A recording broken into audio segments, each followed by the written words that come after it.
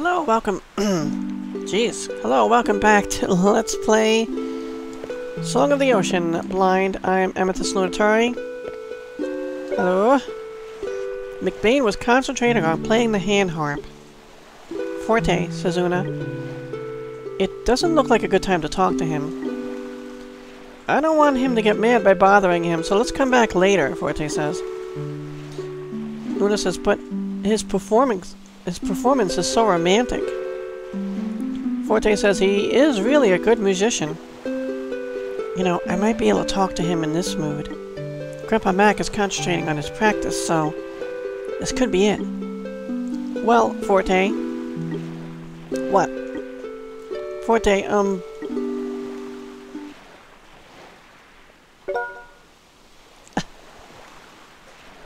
yeah, the moment's gone. McBain goes, humph.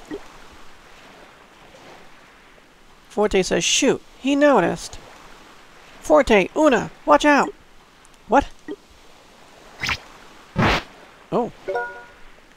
Ag! Another monster? Una says. McBain says, don't you touch them, you dang dirty gorilla. Whoa, he hopped right over Una, looks like. Grandpa, says Forte. Oh, nice. Have a nice trip. See you in the fall. cool, says Forte. What was that? You were too cool, Grandpa. That's one of the many finishing moves I created. It's called Rock Crash. Awesome, says Forte. I never thought that a finishing move was so cool. You sometimes face danger while you're on the road. Many of my friends have acquired self-defense skills to make traveling easier. I'm gonna turn off the combat music now. Those skills are needed to protect yourself and the people you care about, and sometimes used to defeat evil. That's another aspect of life as a troubadour. Forte says, Hey, you're getting carried away a little. But you're strong enough to travel again, even though you're pretty old. Am I pretty old? Whoa. Forte, do you want me to drop you off here? You're so immature that you threaten your own grandson? Whoa. oh, I thought I was gonna fall. You said that you would drop me, Grandpa. I was just kidding. See, says Una. Looks like a big hole was made in the roof of the building below us by that impact. Really? A hole in the roof? says Forte. Right, the monster fell and made a hole. Una says, that place was... That's the building with the broken door, the one that wouldn't open. Oh yeah. We can get in now by climbing down from the hole. Good idea, says McBean. I've always been curious about what's inside that sealed area, Una says. Me too, McBain says. Then let's go in. Oh, that hole. That must have been a really heavy monster. Or fell hundreds of feet, at least. It looks great to see it up close. Uh, does it, Forte? Can we go down from here, says Una? It may be difficult to go back up, Forte says, so I'll go down and see what it's like. McBain says, alright, besides, that monster may still be alive down there. Don't say such a thing, Forte says. Don't worry, no monster could survive falling from this height. Well, make up your mind. You just said he could be still alive down there. Okay, I'm going down. Be careful, Forte, Una says. Yep.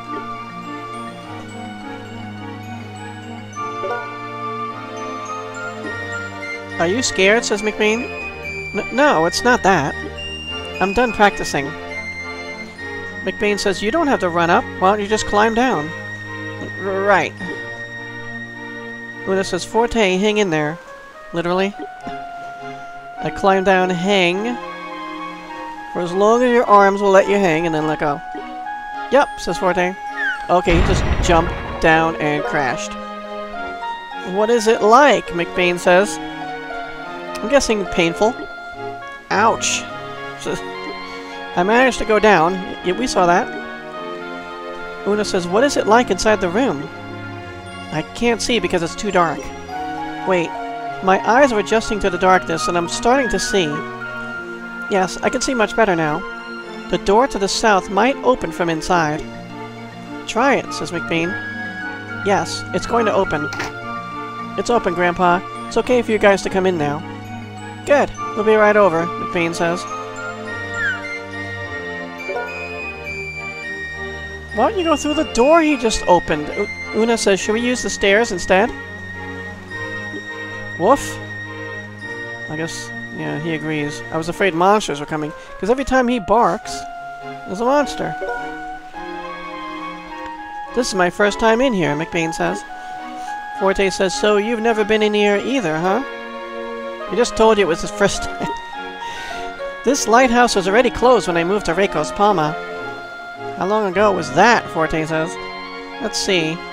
Since I left my birthplace, Os Ostern, and moved here, it's been about 40 years. Una says, come to think of it, it was about the same time when your wrecked ship house was washed ashore, right? Una, how do you know about that? You told me before, Grandpa Mac. Did I? Forte says, this happens to you a lot lately. You kind of look away and repeat the same story you have told over and over. I've heard that before, too. You said, when I was going to build a house, I found a livable wrecked ship, so we decided to live in there. Una says, right, you told me that too. Anyway, McBain says. Forte says, ah, he veered off course. I don't think we'll find any treasure inside this closed area of the lighthouse, but let's just go look. Yeah, it's exciting to go treasure hunting, says Una. Yeah, let's go. McBain joins the party. Alright. What's he got? What you got? He's got a thin glove. and artist clothes. Well, so we can't give him this thin glove. I mean, we could, but that'd be stupid. Uh, we'd just be swapping gloves. Does he know magic? Well, he has Rock Crash. Right, he was telling us about that. A punch technique that destroys even rocks. It leaves out the odd rocks. Encouragement. Encouragement to raise the attack power. Okay. This is like leadership skills. Oh, the second one is. Alright, so he's got 56 hit points and 45 magic points. We have another history entry. That we know. Right. I don't know if I'm gonna keep checking this, but... Forte and Una help Grandma Shella and deliver some dye to Grandma Capero in Krenka. How was this a history? That's not important. Una plays a tune on her piccolo on the riverside along the Ruth Road. McBain defeats a monster on the roof of the lighthouse, accidentally creating a hole in the terrace which allows access to a secret room inside the lighthouse. It's more like a... like a diary or something, or journal.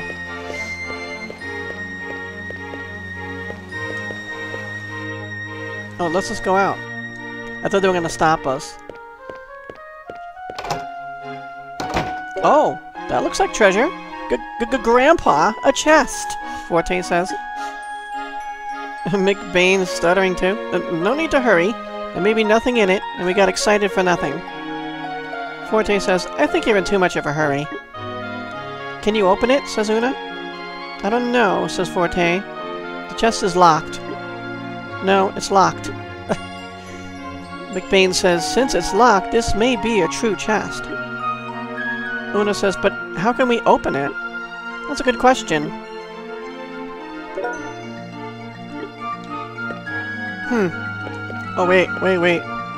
The wall, there's something written. There's something carved on the wall. It says, the bottom of the hole to draw some water. Una says, this could be the clue to where the key of the chest is. It's like a riddle, McBain says. The bottom of the hole to draw some water means, oh, the well. Forte says, does it mean a pail without a bottom? No, it says the bottom of the hole to draw some water. I think this means the bottom of a water pot. Forte says, was there any water pot around here? McBain says, was there any pail without a bottom? Listen to what I think, Una says. I think this means the bottom of a well. That's it, says Forte. Hmm, I can think of one well, McBain says. So can I.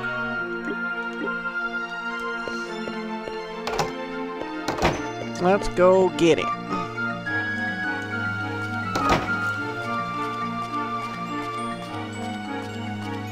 Hopefully while we're gone, no one steals our treasure. Well, how would they? They don't have the key. Hopefully no one mugs us and gets the key. Alright, where is it again? Over here. Una says, speaking of a well, the only one I can think of is this one. Same, that's why we're here. Forte says, It says the bottom of the hole to draw some water, so I assume the key to open the chest may be down below. I bet it is, Una says.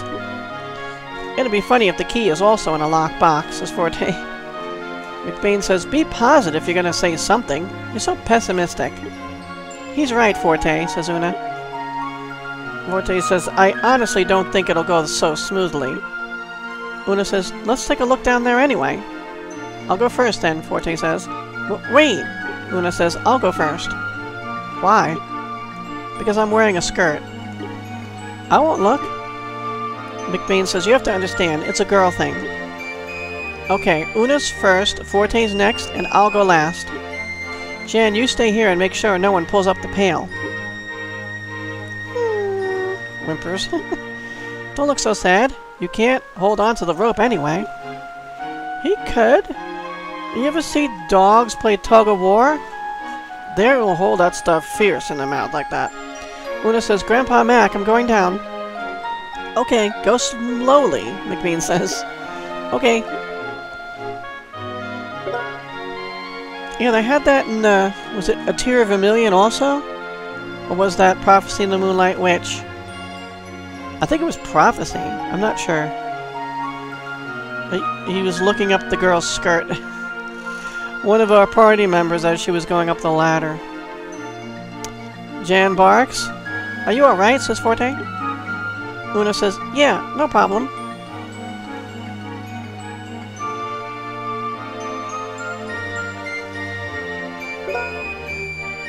You're next, Forte, McBain says. Yeah,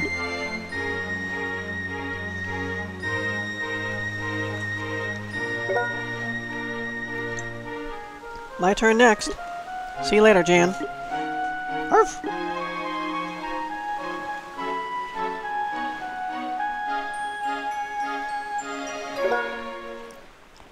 Forte says, ouch, again. For the second time in, like, just a few minutes. What? says McBean. Grandpa, I don't step on my head. Whoop, sorry. Um, Una, have you reached the bottom yet? McBean says. Not yet. It looks like it's very deep. Rip? Something ripped. What was that noise? Forte said. Oh no. Was that the rope? says Una. It's just your imagination, says McBean. Okay, a rip, only louder now. Again, says Forte. Not good. Hurry down, Una, McBean says. Ouch! Grandpa, quit stepping on my head. First things first, just hurry up and climb down. Why couldn't you wait for us to reach the bottom? There's no way a single rope can support all three of us. It's not the time to fight, says Una. Rip. Ah, says Una. No, says Forte. Are they falling? It ripped, McBain says.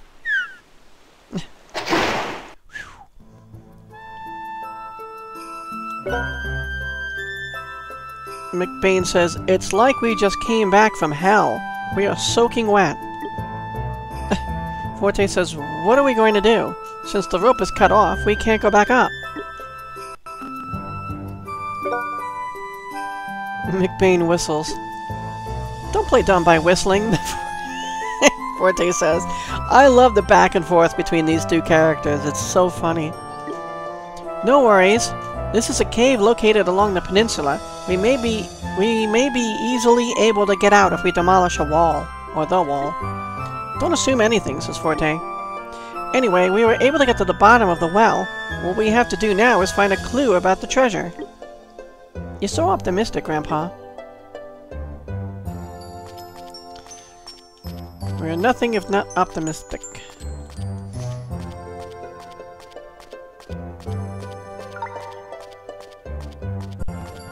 Oh, a chest.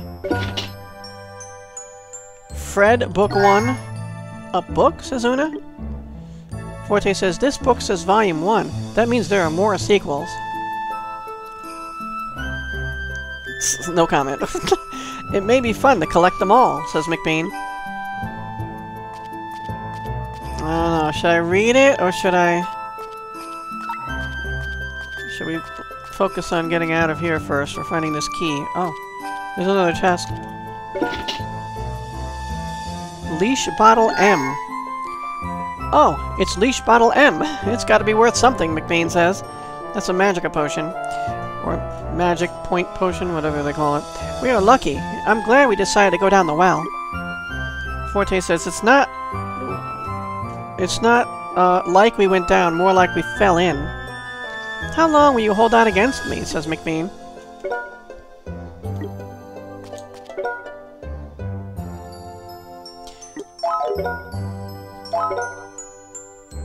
Cool. Yeah, it's a medium-size magic point bottle drink type thing. Oops. Una says, did you hear something? Uh, was that a cat?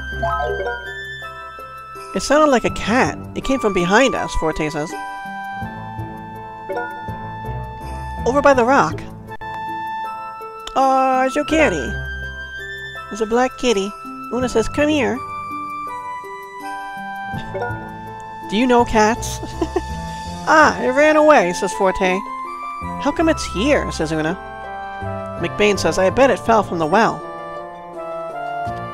Alright, we'll get the cat shortly. Well, let's just run up here. I'm trying to figure out the shortest route. Right, we came in here, right? This goes back.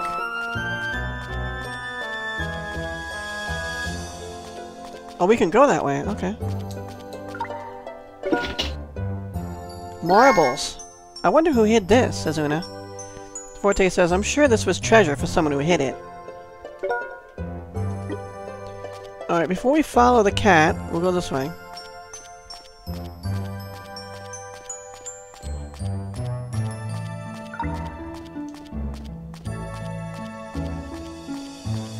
Ah, yeah, dead end.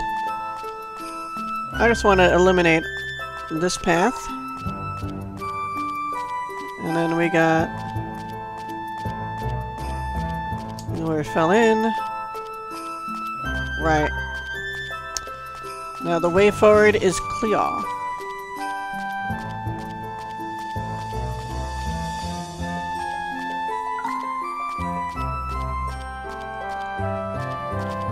Another chest. Oh, and it ends here, and the cat's nowhere to be found. Forte and his friends obtained Old Key. Una says, Look, as I expected, this key must be for the chest.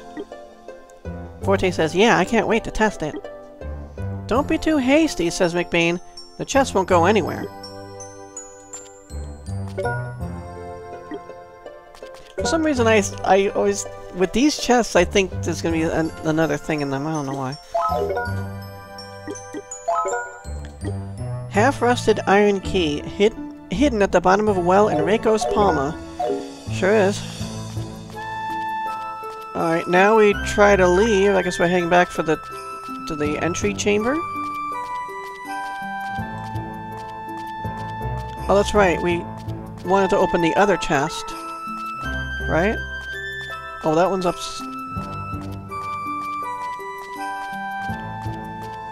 We had found another chest,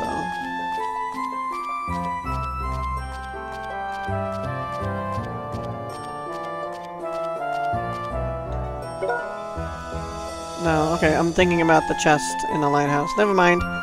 Una says, do you hear something? What, again? says Forte. Woof, woof! It's Jan, says McBain. It must be through here. Since we can hear Jan's barking this close, the wall must be very thin. We should be able to get out from here. Forte says, even though it's thin, we don't even have either a shovel or pickaxe. Just watch, he says. I'll let you see my special skill so you can learn how to use it. First of all, you find a suspicious wall, then face the wall and prepare yourself. That's very important, you have to find a suspicious wall. When you're ready, use one of my finishing moves, the Rock Crash. Jan, get back. Oh! Woo! Oh. Good thing the dog didn't get hurt. Sorry to make you worry. We wouldn't have noticed if you didn't bark. Arf! Thanks to Jan, we found out about the thin part of the wall, but I didn't think you would actually be able to demolish it, Una says. Grandpa, you're too much. This is nothing. Una says you can destroy any wall? No, it's not that I can destroy anything. I can only break down suspicious-looking or weak walls. Suspicious-looking. Forte says, you say suspicious walls, but I don't understand what it really means. You learn through experience. The more you accumulate experience, the more naturally you'll be able to distinguish. I want to look up to you, but at the same time, you're the one who caused us to get trapped in the bottom of the well, too. Did you say anything, McBain says? Una says, come on, Forte, let's get back to the chest in the lighthouse.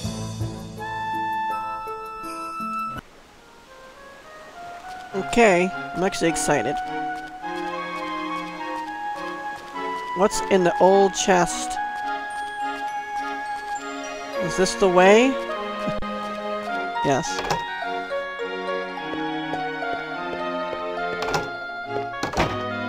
Now before we open it, I'm just going to read this book. Fred Book 1, An Eloquent Speech. The Flamboyant Adventure of Fred the Con Man, Volume 1. My name is Fred. I am a magician. My life is filled with brilliant magic tricks, delicious wines, and beautiful girls with a kind heart. There are people who are jealous of my flamboyant life and speak ill of me, describing me like I were a con man. I don't understand why they do that. I can be a magician or a con man. It's up to you to decide. I deliver exciting, joyous dreams to people with a righteous mind. But I also deliver unspeakably monstrous nightmares to people with an evil mind. That's me, Fred. That's what I do. If you see a handsome young man with a hair as with a hair as black as the darkness of night, and eyes as blue as the Sirius, and wearing a silver monocle, then you know you've met Fred. Oh, by the way, I am sometimes in disguise, I must add. okay, then we won't know that. Alright, let me see. Whom should I pay a visit to tonight? Okay. Short but sweet. Use old key? Nah. yes. Forte and his friends obtained magic map. The map looks very old, says Forte. It looks like a map of Weltluna. Sweet. Yeah, we know these maps. Okay, Overture, Prelude. We're at the lighthouse. Can't move around, at least not yet. Una says, Look, Forte, some kind of mark is blinking on Krenka. It is? What could it be? Is it indicating where the treasure is? I've never seen a map like this. Grandpa, have you heard a rumor of a map or anything? I have. What? This map? It might be the magic map that Leon created to show the locations of the resonance stones. Magic map, says Una? It was described in Leon's book, which my old friend sent me. The resonance stones were scattered all over the world. But the magic map, which reacts to the resonance stones, was created in case they needed to be collected. What are the resonance stones? says Una. McBain explained the resonance stones to Una. I see. So a composer named Leone composed music called Water Melody and discreetly carved musical scores on each stone. McBain says, If I remember right, when I was traveling, I heard a rumor about it. Bandits and pirates fought violently over the map. In the end, no one knew who obtained the magic map, and the rumors soon died. If this map is the magic map, whoever had it might have hidden it here for safekeeping. But he was killed by his enemies or something, and the map has been left here. It's a disturbing story, says Forte. Una says, the wrecked ship you're living in might be the ship those pirates were on board. Forte says, I don't want to think about that much. Una says, but we don't know for sure if this is the magic map yet. Okay, let's check it out then, says McBean. But how, says Forte. Oh, I see. All we have to do is go to Krenka. Una says, if we find a resonance stone in Krenka, then this must be the magic map. McBain says, who wants to go to Krenka? If you do, raise your hand! Me, says Forte. Me, says Una. Oh, says Jan. Done deal. Let's head to Krenka.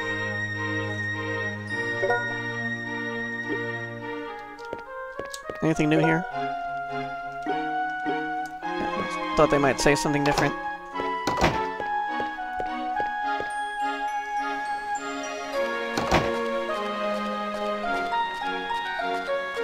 Alright, back to Krenka uh, once again.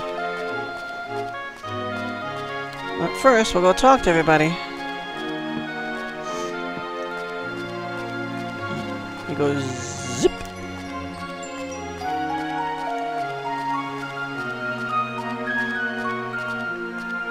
Look at this well again. I just want to see if they say anything new.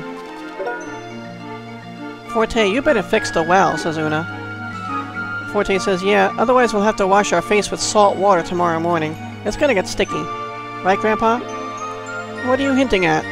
I know, I know. All I need to, is to replace the rope of a well bucket, right? I'll fix it before I go to bed. But we're going to... We're going to Krenka. What if we're not back by nightfall? Then all be lost and we'll have sticky salt water.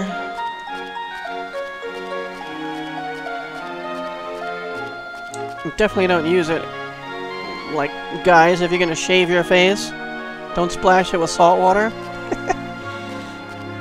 You'll end up like Macaulay Culkin screaming with his hands on his face.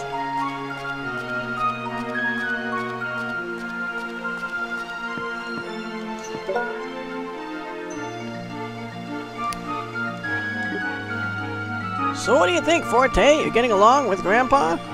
Forte says it's not like I'm always fighting with him. Of course not, says McBean. I'll try to be patient with small things, says Forte. I'm the one who's tolerant, McBean says. You're always the one who says weird things. What are you saying? I'm not saying anything that's not true. You guys, says Una, don't start the fight at Grandpa Riddow's house. Sorry, says Forte. It's good to see you and your grandpa get along well. I wish I could have had grandchildren.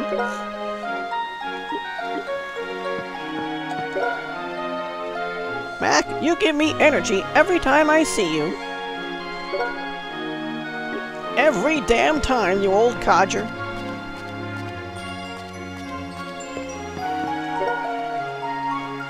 Hello, Grandpa McBain. You're still growing strong at your age.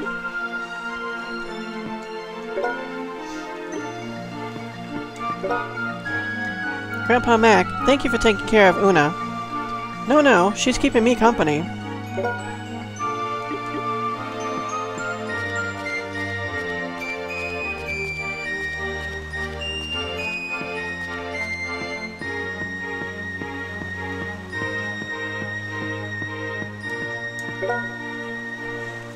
What we got here? Grandpa Mac, Forte, Una, and Jan. When I see you all together, you guys look like one heck of a traveling company. Forte says, if so, the name would be something like McBain Company? Wow, that sounds good, says Una. McBain says, if you want to use my name, you need to polish your skills more. McBain is not a mere troubadour, so you know. She's right, McBain says. Forte says he's getting carried away again. After all, you're a lucky man, Grandpa Mac, because you have such a wonderful grandson. Tell him more, says Forte. I don't think a good grandson would say such a thing. You guys are a mirror image.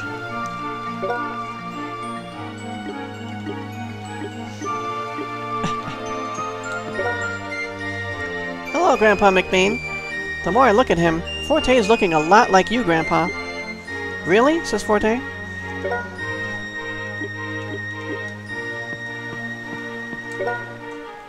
Grandpa Mac, help me if you're not doing anything. Sorry, but I'm always busy, McBain says.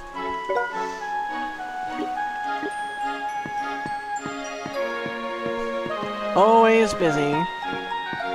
Uh, yeah, I had a feeling it was more over here.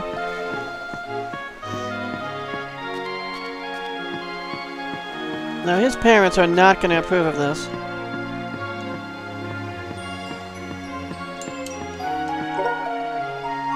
Grandpa, don't go too far, Forte's mother says. And the father? Father, don't take them anywhere fishy. What are you talking about? McBain says. Don't be so ridiculous. Well, this place is fishy. Don't have to worry about fishy. We got plenty of fishy here.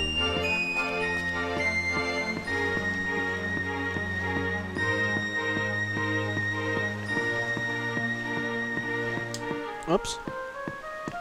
Hey.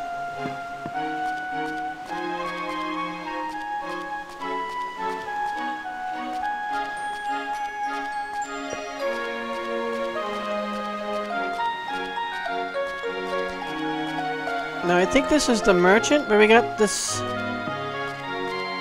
Yeah. We...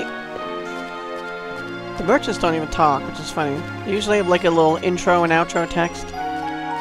I mentioned that before. We've got this one solitary house. I'm not completely sure where it is. I thought so anyway.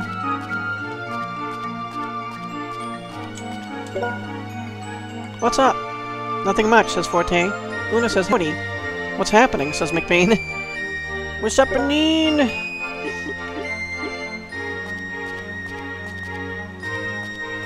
Pad's that one you could talk to without actually saying anything.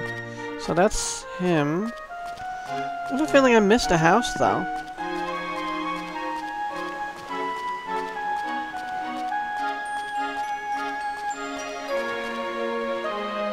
Is it this house, maybe?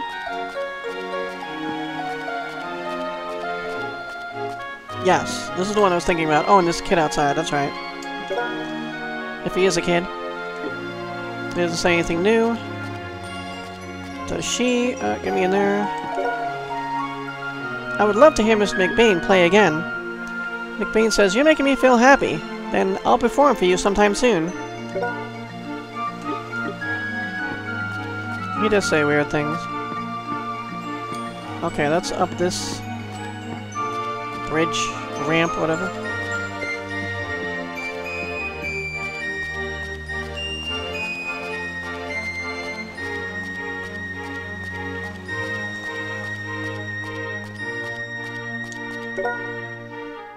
Grandpa Mac, how are you doing? Kale says.